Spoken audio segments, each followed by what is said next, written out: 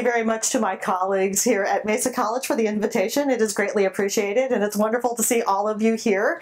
Um, I decided since it is midway through the semester to give a mellow talk mostly full of pretty pictures right? Which is, if any astronomer says they didn't get into astronomy for the pretty pictures, they're lying. They are lying, right? It's all about the pretty pictures. And also, um, one of the things I also do is I'm the co-founder of Astronomy on Tap San Diego.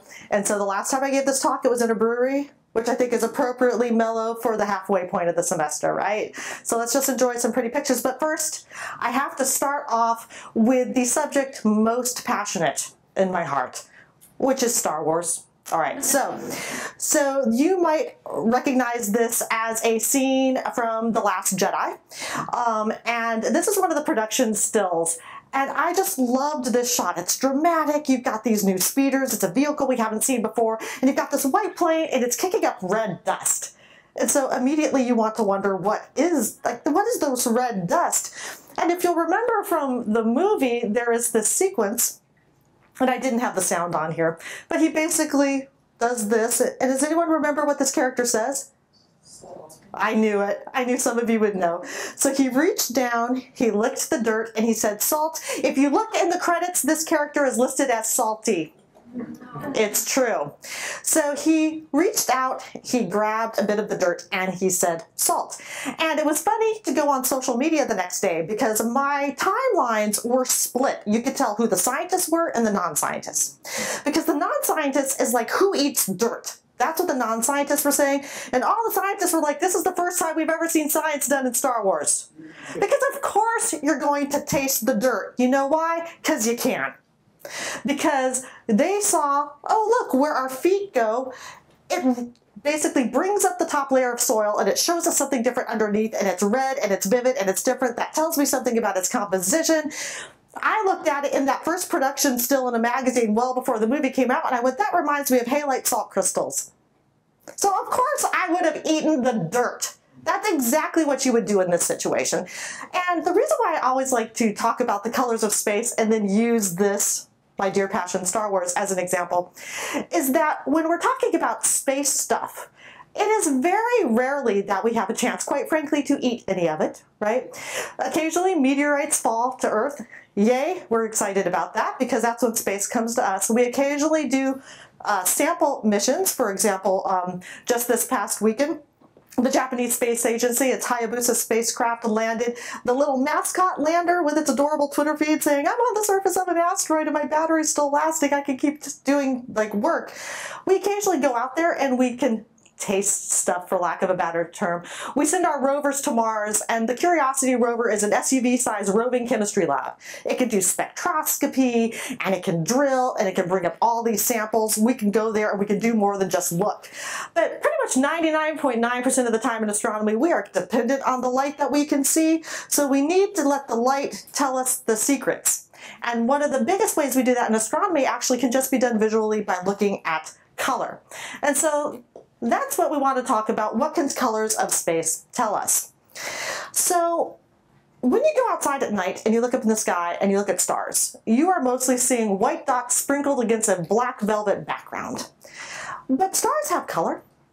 Most stars are so far away that your eyes are not getting enough light to trigger your color receptors. So what you're basically looking at up in the sky is light, no light right? Signal, no signal. And that's kind of why they look white versus bl uh, the black background of space. A very few occasions, and I'll show you some images, we can actually detect the color differences with our eyes.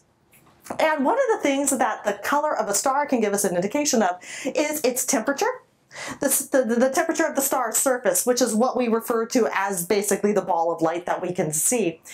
And when we actually do this with physics, uh, this is an example of something called Wien's law, where the brightness of a star as a function of its wavelength or frequency, if we could plot the brightness of a star at different wavelengths of light, different colors through different filters, I can fit a unique curve through that, just like if I gave you a bunch of data and said, here, go use Excel and fit a sine curve through it.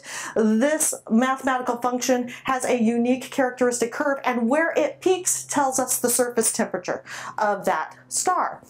And so I know that a blue star is hotter than a yellow star, which is hotter than a red star, which might be counterintuitive to you because you're used to thinking of things as being red hot. But that's just because in terms of the temperatures that you normally interact with, you're not interacting with stuff that gets more than red hot. Right, about as hot as you get is when you turn on your toaster or your electric stove or your charcoal briquettes and they start to glow red. But if we could keep cranking up the temperature, they would glow white. If we could keep cranking up the temperature, they would go blue. And so the hottest objects are actually blue hot. And that means now, if I were to show you a picture of the constellation Orion, you could actually tell me something about the relative temperatures of the stars in this just by eye. Um, if we gave you actual data, you could tell me the exact temperature of each of those stars. But I think sometimes it's kind of powerful to recognize that knowing some basic rules, just looking at something as simple as color, you can tell relative temperatures. So one of the interesting things about Orion is, are, is that its two brightest stars, Betelgeuse and Rigel, are very different colors. So one of them is cooler than the other. Betelgeuse is much cooler than Rigel. If I recall correctly, I think Rigel's about 15,000 Kelvin. Yes, astronomers and physicists use Kelvin as a temperature scale. Forgive us, we just do. And the surface temperature of Betelgeuse is more like 3,000 Kelvin. So that's a big temperature difference between the two. So we, we, one wonders then how can one be as bright as the other if one isn't as hot as the other? Got a couple of options. One could be closer, or one could be much bigger. And Betelgeuse is actually an example of something we call a red supergiant. It is cool in temperature, but it's so huge, its surface area is so big, it's emitting a lot of light, so we can see it brightly in the sky. So now when you go outside at night, and Orion has started to rise in the east around midnight. So we're getting going from the fall sky, starting to get into the winter sky. Uh, Orion, I choose this constellation to talk about because the color difference is apparent in Orion just to the naked eye. Uh, you can actually, both stars are bright enough that you can pick up some of the, the, the light with your color receptors and actually tell, oh, one is red and one is blue and get the color differences. So, favorite constellation up on the sky because there's so much pretty stuff in it, but this is not the, these are not the most important stars to you. The most important star to you is the sun. And this is a rather boring image of the sun uh, taken at uh, Big Bell Big Bear Solar Observatory. I don't know if any of you have gone to Big Bear and noticed that there is a solar telescope pretty much just on the side of the lake. Um, they do a lot of good work up there, and this was a fairly dull day with just one tiny little sunspot, probably just the size of the Earth, up on the sun. Don't you love astronomy when you can say stuff like that? And you might be looking at this and going, that's not the yellow ball in the sky I draw with my crayons, right? You know, I always ask my students this, what color is the sun? And they're like, well, it's yellow because they've had experience drawing a yellow star in the sky. But the sun is not actually yellow. Have you ever seen a picture of the sun above the atmosphere? What color is the sun? It's white. Uh, it is a white white star, although because of our astronomical bias here underneath the atmosphere, we refer to it as a yellow star, a yellow dwarf. But if you take a look at the light it's actually emitting, it is a fairly white star. So why is it that we think of it as being yellow? It is really thought that it's because underneath the atmosphere, the sky scatters blue light and it basically, astronomers would say it reddens but from our perspective, it makes the sun look more yellow to us. And that is the leading hypothesis for why we perceive the sun to be yellow. Uh, and also when we tend to look at the sun, because none of you look directly at the sun, right? We are by no means here con condoning looking directly at the sun, right? But when you do sneak a peek, I, I saw some guilty looks, by the way, excellent. When you do sneak a peek at the sun, you tend to do it when it's lower on the horizon, going through more atmosphere, more blue light getting scattered out of the way, so more reddening has occurred. So we do tend to perceive the sun under the atmosphere to be a yellow star. It's white though. Nice astronauts up on the space station let us see that. Once we can get the light from a star or from any element, we can start actually taking a look at what that element or that star or whatever we're looking at is made of. And so some of you who have taken physics or chemistry classes may recognize these spectra. Uh, the top one is what we call a continuous spectrum, all the colors of the rainbow, and I'm biasing this towards what we can see with the human eye. Uh, if we had infrared detectors, we would see it continuing on below the red over here. If we could see in the ultraviolet, we would see the spectrum continuing on over here beyond the violet and so on. But we're used to seeing all the colors of the rainbow up there. And then different elements when they are heated up actually emit different colors. And these patterns can be used as fingerprints to uniquely characterize which element, which molecule that you are looking at. And so uh, in astronomy, we do this a lot. Uh, I heard somebody said they had spectroscopy homework, right? We do this a lot. We try to get the spectrum of stars and the reflected spectrum from, say, planets and planetary atmospheres and so on to give up their secrets. And one of the ways we can do that is by looking at the light, looking for these characteristic patterns. Uh, molecules are always kind of interesting because they, they really do tend to show combinations of the atoms that they're made up of. Uh, I don't have water vapor on here, but water vapor really does look like the hydrogen spectrum on a faint oxygen background because there's two hydrogen for every oxygen. You can actually see some of this stuff. So how does this um, how does this translate to looking at stars? Well, a continuous spectrum is emitted by a heated solid, liquid, or sufficiently uh, thick gas, or dense gas. These, what we call emission spectra, we get these when you have thin gases that are heated up. What do we mean by thin gas? Well, the air in this room is a thin gas. I can see you through it. And so this would be a thin gas. Um, there's also a third type of spectrum which is called an absorption spectrum. It looks like the continuous spectrum but with some light missing, like material has absorbed it. And so if there, if we saw a mercury spectrum in absorption, I would see color and then I'd be missing two yellow lines. And then I would see color and then I'd be missing a green line. So basically absorption spectra look like the opposite of emission spectrum, such that if I added the emission spectrum of mercury to its absorption spectrum, it would look like the continuous spectrum. They complement each other. Why am I bringing that up now? Well, when we take a look at stars, they show absorption spectra. And so this is the constellation Cassiopeia. And for her brightest stars, we have the spectra listed there for you. And you'll notice they look like all the colors of the rainbow are present, but some are missing. And that tells us that stars typically show absorption spectra. And we see absorption spectra here in the laboratory if I have a cooler gas in between the detector and a hot source. This is interesting because this tells us that stars are hotter in the middle and then as that light filters through their outer layers, through what we call their atmosphere, the cooler outer layers and their cooler outer, outer atmospheres, we now start to get some physics structure from understanding the light. Stars are hotter in the middle than they are around the outside. You might be thinking to yourself, well, that just makes sense. I, I quite frankly don't care if it makes sense if I don't have data to back it up, right? I need actually to have evidence that it works the way we think it does.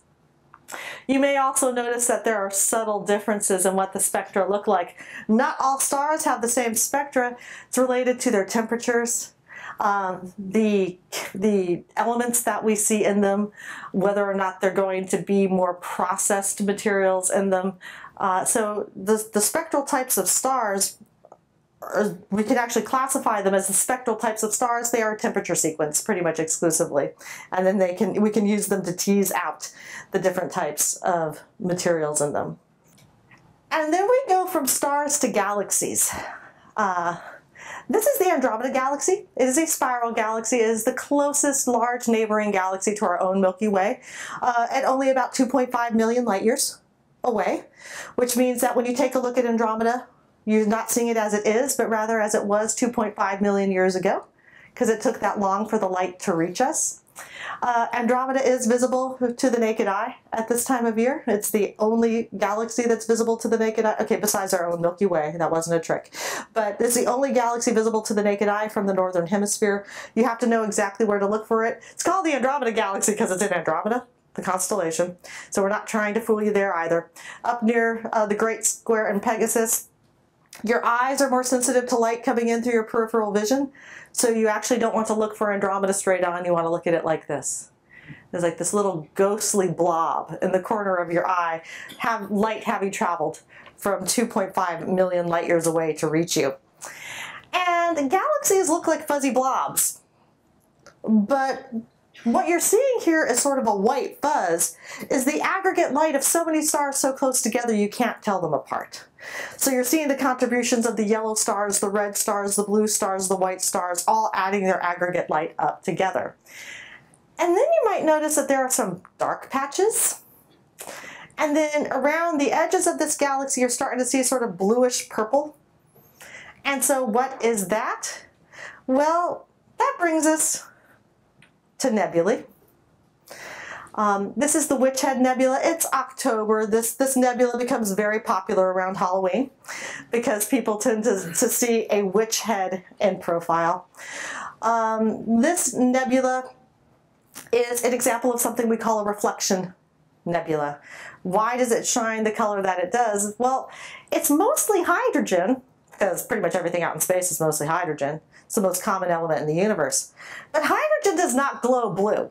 If I brought in a tube of hydrogen in here and turned it on for you to look at it, it would be sort of like almost pink. It's sort of reddish pink. Um, so this is not heated up gas.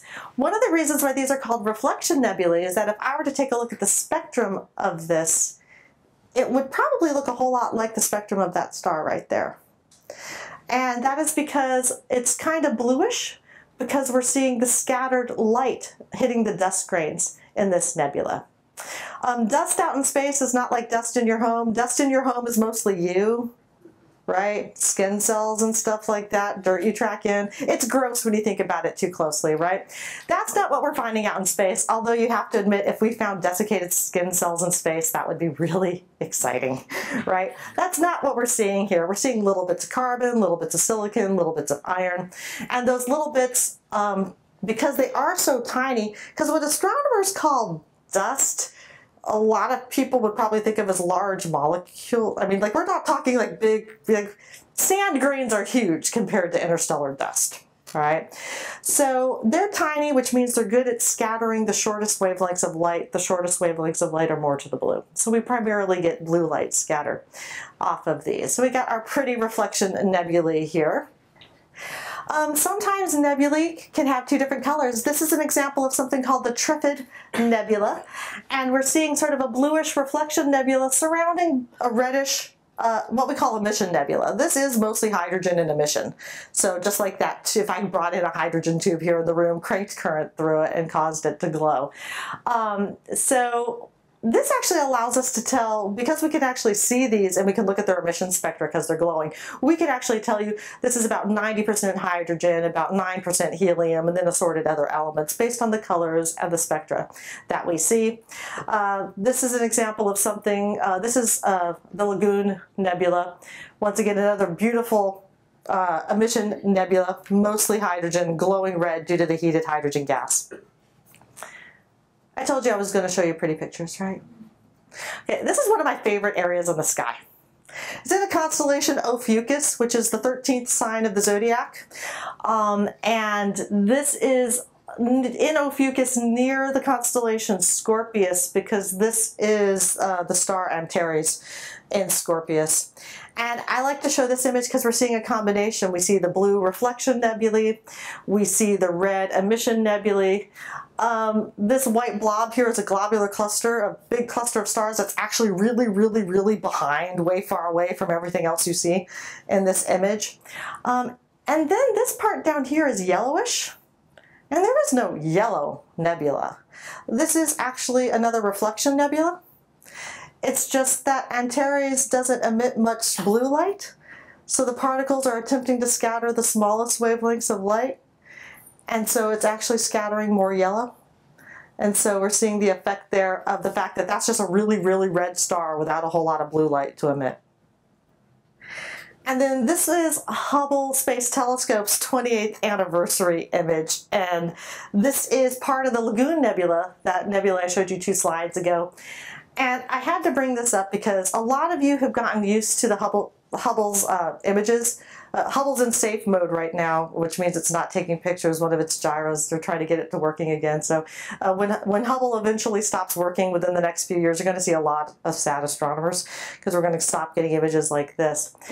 Um, the Hubble Space Telescope images of nebulae in particular have so permeated pop culture that now when you see nebulae in movies, they're the wrong color because you're seeing them through the Hubble Space Telescope filter set. Like if you see something in Doctor Strange or in Infinity War and you're seeing these like greens and like stuff, at the, mm, no. You're just seeing the, color, the, the fact that the Hubble Space Telescope tends to take its images through three filters. One's a red, one's a blue, one's a green, and then it mixes equally. But the red, the blue, and the green all correspond to different elements. And when they tend to merge them like this, they weight them equally, but are they actually equally weighted in space? No, because everything's 90% hydrogen. And but the reason why astronomers do this and weight them equally is that the blue, we can actually see physics here. The blue regions are actually hotter. The red regions are cooler. The stuff up here that looks darker and more dense, it actually is darker and more dense. There is actually information to be teased out of what we call this true false color set or a false true color set. Um, uh, one of the uh, astronomers on my PhD thesis committee had taken that famous Eagle Nebula image, you know, the three fingers, the three pillars of creation, they called it. And uh, he will swear up and down that that's a true color image, but it's not what you would see with the eye, because these are 90% hydrogen. If you could see them with the eye, they'd always glow red to you because it should be weighted by that 90% hydrogen. So these are some of the pretty things that we see deep out into space. I wanted to spend some time talking about color in the solar system now. And the color in the solar system, the objects that we see in visible light, it's largely by reflection. We largely witness the solar system by how it reflects sunlight. And so an example then of the way astronomers do it, this is how your eye would do it, right? You have sunlight coming in, a mixture of all the colors of light, hits a leaf, but the leaf looks green to you. Why? Because it the leaf absorbs everything but the green, basically, and reflects the green back to you. What is it in the leaf that's doing that? It's typically the chlorophyll is doing that the most. So the way a scientist would tease out more information is it would actually look at something, in this case I have the absorbance, which is how good the chemical absorbs as a function of wavelength. So chlorophyll's really good at absorbing blue, really good at absorbing red, not so good at absorbing green, so you see it reflected back as green. And different chemicals behave in characteristic ways. We can tease these out as spectra and get information about chemical makeup. So what your eye is doing this way, we can actually get more precise data. But once you train your eye on the colors to look for, you can get a lot just by looking by eye. So shall we do a tour of the solar system in pretty pictures? Always. All right. This is not the moon. This is Mercury, the planet closest to the sun. Uh, it looks remarkably like the moon though. In fact, in a lot of Astronomy 101 textbooks, they teach Mercury and the moon in the same chapter. Because if you've talked about one, you pretty much covered the other. Um, what was this is an image from the uh, messenger spacecraft which was around mercury for about a decade taking images and we get these big craters, the impacts, um, you can actually have what we call rays sweeping out from the craters. But the surface in many ways was actually darker than what we expected. And it turns out that there's a lot of graphite, like graphite, like in your pencils some of you are using, graphite on the surface. Uh, graphite is a carbon compound. Carbon's one of the most common elements in the universe. And so what we think happened here is that when Mercury was much younger than it is today, so let's turn back the clock about four and a half billion years, as it was forming, it had a lot more magma basically on the surface, and graphite, this common carbonaceous compound, could have crystallized basically out of that graphite. Um, a lot of people think Mercury, because it's so close to the sun, should be hot and molten to begin with. Sorry to disappoint you. It's actually not that hot. It's only about 800 degrees Fahrenheit on the surface, on the side facing the sun. Mercury does not have an appreciable atmosphere, so it's on the side facing away from the sun. Since there's no blanket of atmosphere to keep any heat close to the surface, it's actually negative 200 something Fahrenheit. So you have about an 1100 degree Fahrenheit difference between night and day temperatures on Mercury. But uh, seeing actual graphite on a surface was interesting because you don't necessarily expect to see that. And so I, have actually found this is one of the more interesting uh, findings of the Messenger spacecraft. I'm biased though because half of my PhD thesis was trying to model graphite out in space. This is Venus. Um, ignore this dot here. That's not real. It's basically an egg in space when you take a look at it. Um, Venus previously, earlier on in the semester, was a really bright dot over in the western sky in the early evening. Like if you were outside in the early evening, it was waving at you and getting your attention because it was incredibly bright.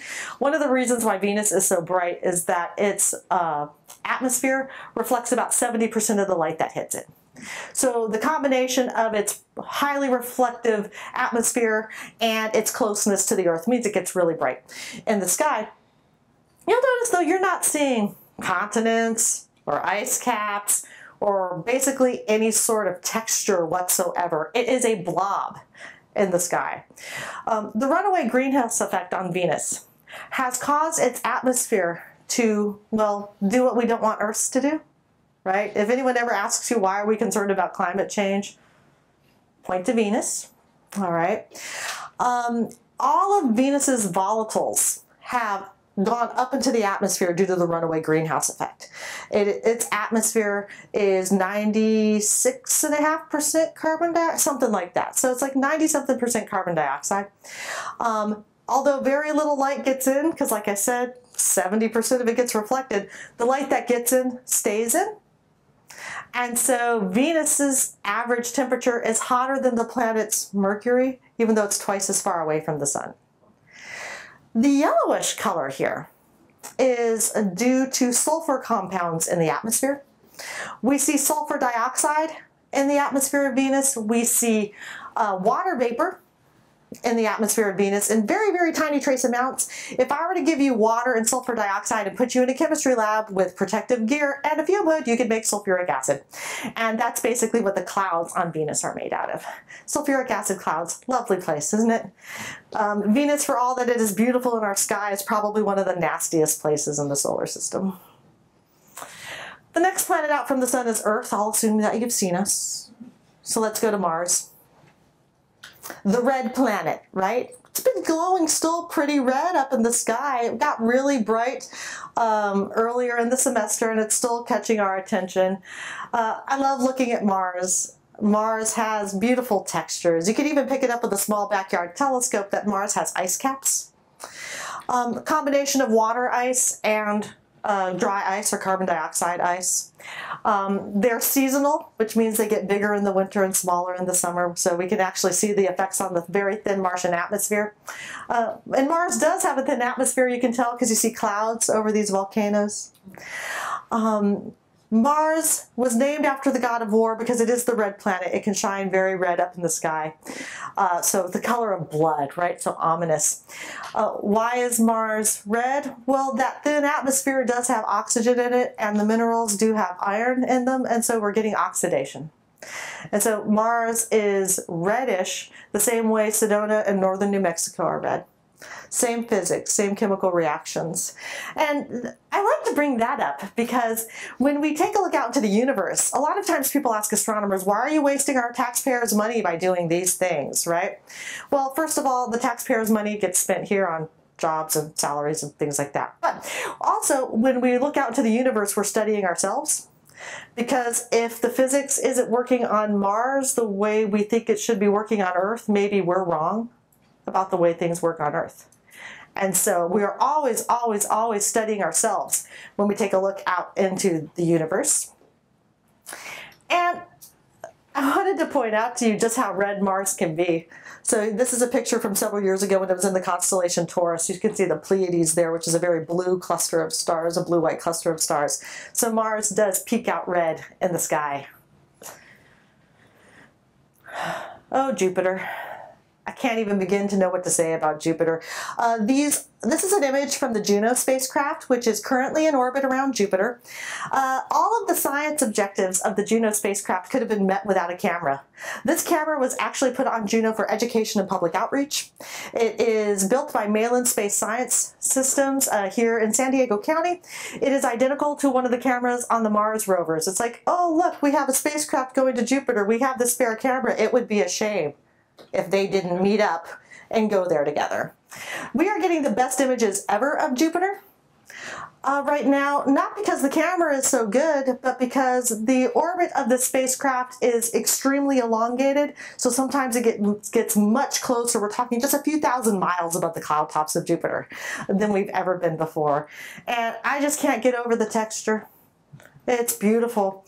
You can tell that this is a mostly big ball of gas. We do think that there is a solid core deep down in the middle. Uh, one of the objectives of the Juno spacecraft is actually to figure out how big that solid core of Jupiter is. Um, the different colors here are different chemical compounds in the atmosphere reacting with solar radiation. So the whitish clouds tend to be ammonia ice, the reddish orangish clouds are ammonia hydrosulfide ice, the bluish tinges tend to be water ice. And so we are seeing different chemical reactions in the clouds actually telling us what they're made of and also it's just too pretty not to show. I had to restrain myself from just showing you Juno images for like, I don't know, six hours because they're way too pretty. Saturn, next planet out from the sun, reflects back yellow. It doesn't look quite as detailed as Jupiter, although you might be getting a hint of bands of stripes across it. Um, Saturn is more subtle than Jupiter. Uh, it's smaller, it has a lower gravity, and so the reason why you're not seeing quite as garish uh, contrast in colors is that the lower gravity means that the clouds actually extend deeper and so basically we're seeing mostly the top layer of clouds. We're looking mostly at the ammonia ice clouds. And so that's why the coloration is different. And then I can tell a lot about the rings of Saturn because they are pretty much as bright as the planet, but I can see through them, so they're not a solid disk. So I need something that's really good at reflecting light, like ices, to make up the rings. And Saturn's rings are millions, billions of icy particles, each in orbit around Saturn like a little moon above the equator of Saturn. So if you could stand on the the equator of Saturn, which you can't because it's a big ball of gas. But if you could stand on the equator of Saturn, the rings would just be a line going across the sky. And the difference in reflection here, the brighter the ring looks, the more particles are grouped there. The darker the rings, the fewer particles. And then there's actually a tiny, it's hard to see here, but there actually is a gap uh, in the rings where there's a tiny little moon that orbits there and it swept the orbits clear. Saturn's rings are fascinating. I had to show you the, the final Cassini image of Saturn in full. Uh, the Cassini spacecraft was out at Saturn for gosh, 14 years, 13 years, 14 years or something like that. And it just finished its mission in uh, September of 2017. Um, and I am real, I got so bummed about it. I, when I gave a, a, a farewell to Cassini, uh, planetarium show at the Fleet Center, I had somebody actually give me a little thing of Kleenex with a Saturn sticker on it uh, because um, I've been spoiled. My entire professional career, I could go to the Cassini spacecraft site and get new images of Saturn every day to show my classes if I wanted to. And if you are an artist, the interplay of light and shadow in Saturn's rings and its moons, quite frankly, too, um, it's the best place in the solar system to actually study the contrast. It's really, really beautiful. So I'll try not to cry over Cassini now. I've had a year to get over it, but it hasn't happened. Uranus and Neptune, they're practically twins. They're made out of the same stuff that Jupiter and Saturn are, but they're different colors. So we have to ask ourselves, why is that? Well, all four Jovian planets, Jupiter, Saturn, Uranus, and Neptune, are mostly hydrogen and helium. But Uranus and Neptune have more methane. Some of you may know methane is a good greenhouse gas, which means it's good at absorbing infrared. It's also good at absorbing red, which means it reflects back more blue. And the outer layers of of Uranus and Neptune. Neptune is about 3% methane. Uh, Uranus is about 2% methane. So you actually see a strong effect on their colors and their contrast there. Um, we have these images of Uranus and Neptune from the Voyager 2 spacecraft, the only time we've ever visited uh, Uranus and Neptune. Uh, we would like to get back out there at some point because we barely even scratched the interesting surfaces of their moons. Speaking of moons, all right, so the planets are actually the boring part of the solar system. Uh, where all the interesting stuff is is the moons. Uh, these are the four largest moons of Jupiter, uh, the Galilean satellites, called so because they were discovered by Galileo back on a night in 1610. Io, Europa, Ganymede, and Callisto. Uh, these are all true color images. They are to scale with each other, both color saturation and size scale. To give you a sense of feel for it, uh, Io and Europa are about the same size as our own moon. Um, Ganymede is the largest moon in the solar system. It's larger than Pluto. It's larger than Mercury. If I put Ganymede in orbit around the sun, you'd be, oh, look, a new planet. I mean, you'd be comfortable with that. I just love showing them because look at the color contrast. You now know that just looking at them, there's different chemistry going on. There, there's something going on that's different that makes each of these worlds unique from each other. So I wanted to give you a few highlights. Uh, let's take a closer look up at Io. That sort of, a lot of people refer to it as a pizza looking moon. I like my pizza to look better than that thing on the left personally, but it does represent the color. Um, this is a closer up image of Io and when I take a look at a world that has very little to no atmosphere, I expect craters all over the surface if it doesn't have any geology going on. Because if there's no atmosphere to protect it from getting hit, if it's an old surface, it's just been hit a lot. So I should just see crater after crater after crater. This is a smooth world with orange and yellow sulfur compounds thought to be uh, emitted by active volcanoes because every time we have sent a spacecraft close enough to Io to see it, we have seen active volcanoes. This is the most actively most geologically active object in the solar system. We see lava flows, multiple volcanoes in eruption at the same time, and they outgas sulfur compounds, and that tends to give the sort of yellowish orangish color. And then I also wanted to show you an image of Europa, one of uh, Jupiter's other moons close up. One of the most intriguing places in the solar system. Another smooth world, uh, not many craters at all, uh, but it's ice. And how do you get smooth ice? That's fresh ice. How do you get fresh ice? You have to have a source of water.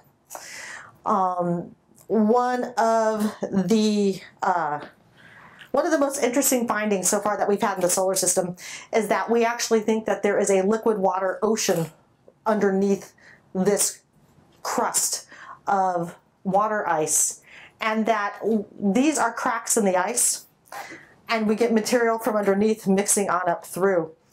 Um, one of the ways that the liquid water oceans have been um, sort of verified is by their effects on the magnetic fields of these moons because a couple of these moons do have magnetic fields. Um, the New York Times uh, science section yesterday ran an article on Margie Kivelson, uh, a 90-year-old professor of emerit emeritus at UCLA. Um, she was my one of my mentors when I was an undergrad at UCLA, an amazing woman. And um, she is still working on it. And she was one of the people that learned how to use magnetic fields to give indications of water oceans underneath surfaces. So it was an interesting article if you want to go read that. Thought I would mention that. This is Enceladus, uh, one of the moons of Saturn. Once again, another surface of water ice. Uh, the Cassini spacecraft actually witnessed water geysers. So we've actually seen liquid water come up from underneath the surface.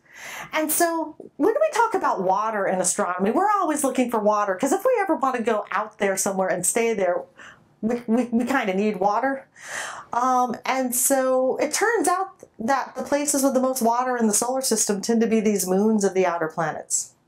Um, and they are the only places that have liquid water close to the surface. There have been some interesting findings on Mars that maybe water still exists as liquid as trickles from time to time. The could yeah. There's a couple different interpretations of the data. We'll uh, we'll we'll let that one play out. This is Saturn. You've got the rings. You've got the shadow of the rings. And then you've got this orange ball, this orange fuzzy ball here. This is Titan. It's the largest moon of Saturn. It is the second largest moon in the solar system, and it is a vivid orange blob. It has a dense atmosphere. It's actually more dense than the Earth's atmosphere, mostly made out of nitrogen, so that makes it the atmosphere in the solar system that is the most similar to Earth, believe it or not. Nitrogen and then argon. Just none of that oxygen that living creatures have outgassed over the over the billions of years that we've been around.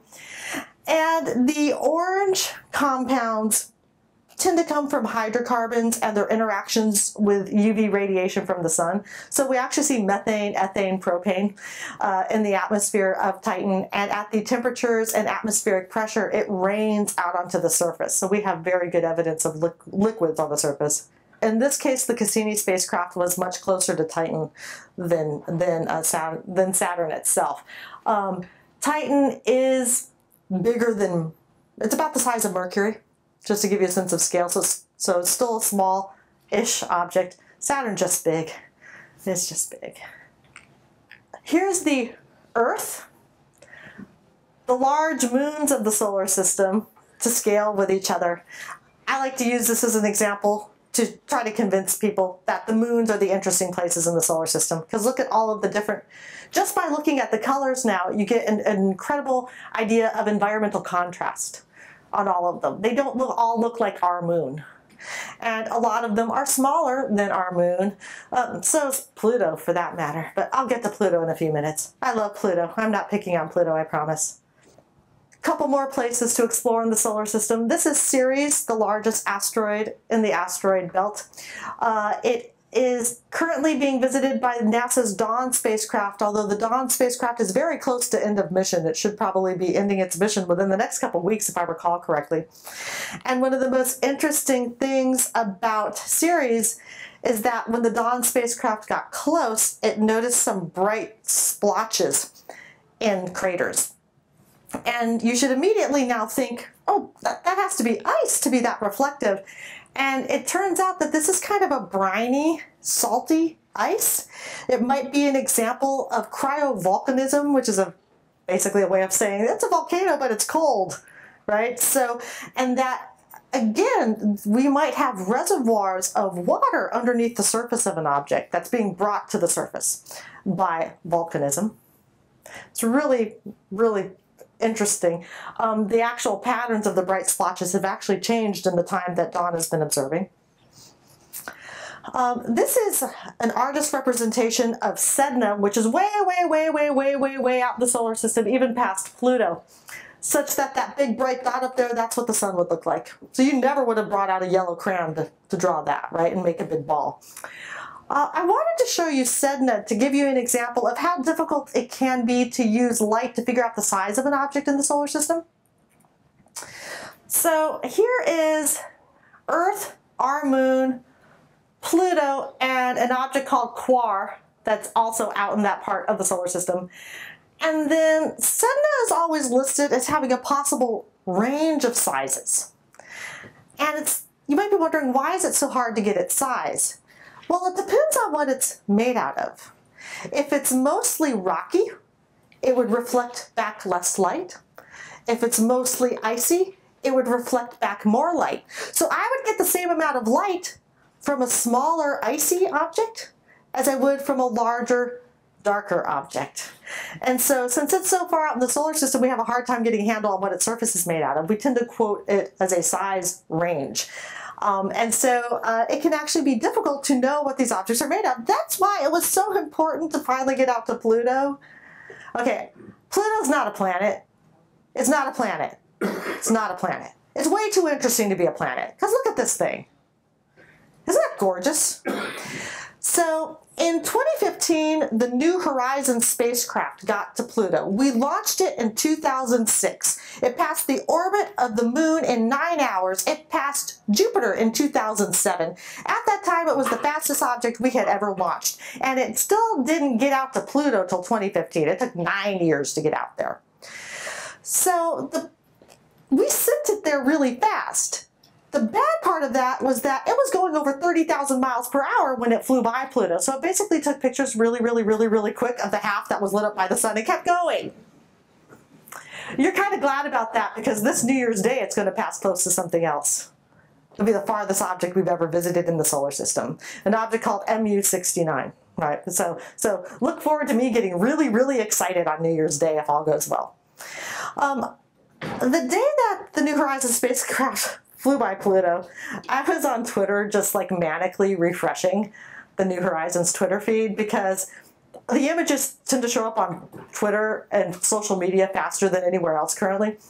And I saw this image and I was like bursting into tears. My husband comes running out into the living room and was like, what's wrong? And I pointed at my computer and went, Pluto. And he just turned around and left the room. Um, Pluto was incredibly surprising. Uh, even with the Hubble Space Telescope, Pluto was pixelated and we could just see contrasts between sort of brighter regions and darker regions. So we felt comfortable that there was like more ice in some areas and more rock in other areas. Uh, that was about as good as it got. We were not expecting a world that had large, smooth expanses of ice. Um, this sort of reddish material on its surface um, mostly due to something called tholins, which is an organic compound that interact that gets reddish with its interaction with sunlight. Um, we don't find those chemicals naturally here on Earth, but we see these reddish compounds throughout the outer part of the solar system. Um, that ice is nitrogen ice, not the sort of stuff we tend to find here on Earth with traces of methane ice and carbon dioxide ice. We see mountains of water ice, literal mountains made of water ice on Pluto. Pluto is fantastic. It's way too interesting to be a planet. If you still think Pluto should be a planet, just don't, don't make it that boring, right? Pluto's awesome. So right now, the technical term, they're not planets. They're called dwarf planets. And I'm like, that's a horrible name because don't say it's not a planet and then call it something that has planet in the name because words have meaning. This has been frustrating me for, for years, since 2006. Um, basically, in the meeting of the International Astronomical Union in 2006, uh, we had to decide whether or not Pluto was still going to be considered a planet because uh, Mike Brown up at Caltech, who goes by the name Pluto Killer on Twitter, he does, I'm not kidding. Um, he had discovered an object uh, out past Pluto that is at least as big, if not larger than Pluto. And so he basically finally said, look, we got to deal with Pluto because a lot of astronomers haven't considered Pluto a planet for years. We're just, you know, used to it. Um, and so uh, they came up with a compromise term called dwarf planet, in part because that same year the New Horizons spacecraft was getting launched. And there is a, how shall I put this politely? There is a concern when your mission funds are largely determined by non-scientists in Congress that if it's not visiting something as important as a planet, they might not give it the funding it deserves. Anyway, so yeah, this is this is a whole separate thing that can raise my blood pressure. But we I like to refer to it as one of the largest Kuiper Belt objects because it's out in a part of the solar system called the Kuiper Belt, which is where we see a lot of icy objects like this. Um, so Pluto is actually a large and important example of those sorts of objects as opposed to a pathetic excuse of a planet, right? It's smaller than our moon. Okay, so speaking of moons, Pluto has five of them. This is its largest moon, Charon. Uh, they're not um, to scale in terms of their separation. They are to scale in terms of size and color. Yeah. So isn't that amazing, the difference in color? I have just been screaming over Charon even more than Pluto over the last couple of years. Um, Charon is has a crack that goes all the way across it. It is in part thought that it might have been like the Incredible Hulk. When Banner turns into the Hulk, he tends to expand and burst through his clothes. It is thought that this crack might have come from during one of the uh, freezing times where the ice actually is changing its shape and it might have actually cracked. Um, that's one of the ideas. You may also notice the similarity in the reddish coloration from those tholins, those organic compounds interacting with uh, solar UV radiation, but not seeing the nitrogen ice, right? The colors are very, very different. I, I, I want to go back to Pluto, and quite frankly, I also want to go back to the moons of Uranus and Neptune, because there are some moons with large cracks around those worlds that look very similar to this. So there's obviously a population and a process going on out there that we don't completely understand because we haven't been out there enough. This is our moon, right? The dark regions, the lunar maria, are places where impacts so strong that burst through the crust of the moon, dredging up lava from underneath, repaving. So you get both a smoother surface in those areas and they have a higher iron content when we brought back rocks from the Maria in the highlands. They're also younger in age because we've also we can do radiometric dating on the highlands and the Maria. But just to finish off here with our exploration of colors of space, this is actually an image of the moon crossing in between a spacecraft and the Earth. Look at that color contrast. Isn't that amazing? Basically, the moon looks really bright in the sky to our eye because it reflects about 10% of the light that hits it, and it's close to us. So if it's only reflecting about 10% of the light, that means it's kind of darkish. And one of the reasons why I like this image is it does give you a more characteristic understanding of its color. It's like a charcoal briquette in terms of its coloration for the most part. And everything that we think of as representing life here, like the blue water, the greenish browns of the continents and so on, the moon looks colorless to a certain extent, right? Uh, what did Buzz Aldrin say on the moon? It looked like magnificent desolation, right? And so a very different color contrast. And in fact, the moon contrasting with the earth is probably a good way to finish up our exploration of the colors of space. Uh, because uh, one of the biggest complaints I get in Astronomy 101 is, Dr. Will, you made us feel small. right? Because we start in the solar system, we expand out to the stars, to our galaxy, to galaxies in general. But I think it's amazing how much we can learn trapped on this tiny little world around a very boring, quite frankly, star. And we can tease so much information out of the universe. And so part of that is through the colors we see, and hopefully you have a better feel for how we do that. So thank you very much for attending tonight, and I'll happily answer questions.